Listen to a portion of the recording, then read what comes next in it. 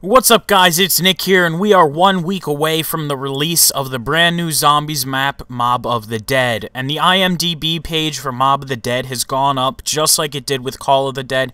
It seems that they tend to file these type maps separately in IMDb. They have a space for Black Ops 2, which includes all the Zombies characters, but they do the Call of the Dead map and Mob of the Dead map uh, separately for some reason. Now what this does, this gives us some uh, extra information about, uh, you know, about the map itself So here's the cast of this map. Uh, Craig Houston is the credited announcer, and that's interesting because he's been credited as an announcer before, back in World at War.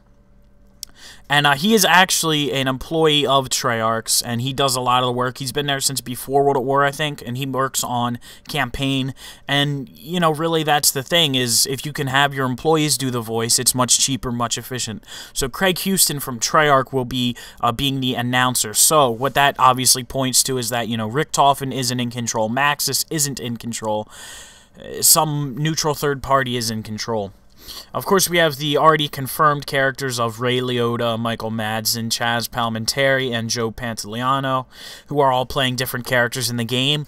But then we have something interesting. We have, of course, Nolan North, who has pretty much, I think, been on every single Zombies map since Shi No Numa, which is when they first introduced uh, the characters. Um, and I think he may have done work on Verrückt as well. Um, but he's been on every single Zombies map, and this map isn't an exclusion on that. He is playing the character of Brutus, and that opens up uh, a big window of who actually is Brutus, you know? A lot of people have been saying Brutus is that boss that we see in the latest trailer, the behind-the-scenes preview. Uh, the Warden, as it's often been called, you know, he's wearing the Civil War military gear and chases you, the big, the big enemy. Uh, that could be Brutus, and that's kind of what I'm leaning towards right now, but we'll find out within a week. Uh, the storyline is basically just a general summary, nothing new that we've necessarily had. Uh, but it says while guard towers and new weapons offer tactical advantages, so the guard towers will be playing a part in this map. They made new traps, transportation, all kinds of stuff. Really looking forward to that. Going down here, this is the profile of Craig Houston here. And as you can see, he's worked on Black Ops, World at War, Black Ops 2, Call of the Dead. So uh, he, he's writ, written a lot of this stuff for Treyarch. He's done a lot of writing. Obviously, you can see written by, written by for all these different games. Uh, so that's very exciting to see him taking on the role of the announcer. And then this is uh, more down on the description page here, uh, just some specs of it.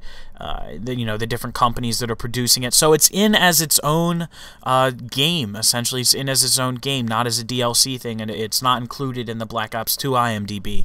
Uh, but Brutus, this new character that's just been confirmed, is play, uh, being played by uh, Nolan North, the legendary voice who's in tons of video games. So I can't wait. We have one week left. As always, I'm going to be streaming it, and I'll have more information on that coming to you guys soon. Uh, if you haven't already, be sure to subscribe to stay up to date with all the latest Mob of the Dead and Zombies news, and like this video if you enjoyed it. I can't wait. I think really the whole community is excited for this. Uh, I'm just, I'm really excited. So I'll see you guys then.